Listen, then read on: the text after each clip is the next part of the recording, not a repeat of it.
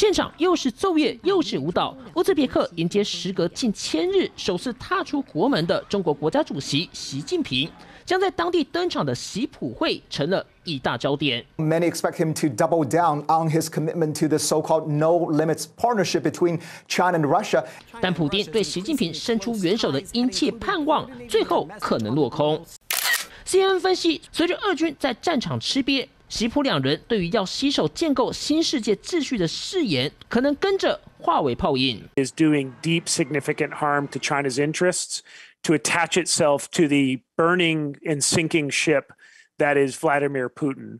China has backed the wrong horse。老朋友过河拆桥已经够让人愤怒，没想到习近平把中亚当成二十大前重点出访地区，无疑是企图染指俄罗斯势力范围。But the dilemma or the challenge for Xi and for China right now, of course, is the Central Asian nations they are so eager to cultivate closer ties with uh, are the same nations that Putin considers to be his backyard.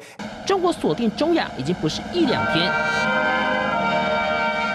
这回习近平把哈萨克当成行程第一站，意义非凡。虽然下机差点滑了一跤，但看得出来野心勃勃。因为中国二零一九年在当地砸下一百四十亿美元投资油气产业。香港理能大学教授张博慧也在《时代》杂志的访问中分析，随着俄罗斯入侵乌克兰，造成全球能源市场混乱，能源丰富的哈萨克再度变得举足轻重。中亚国家势必成为中国能源的关键来源。